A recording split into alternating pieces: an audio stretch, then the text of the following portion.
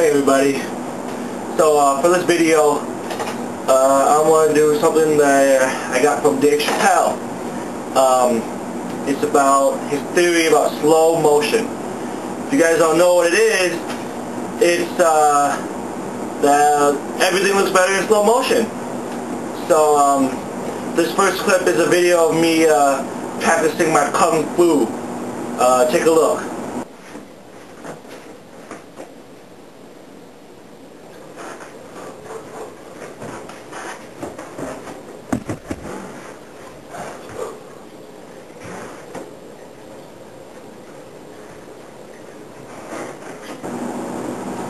As you can see, uh, normal motion is uh, kind of boring, pretty pathetic.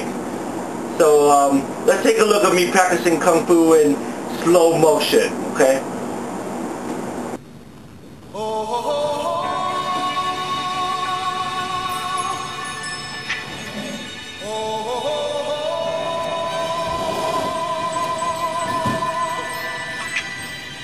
Oh,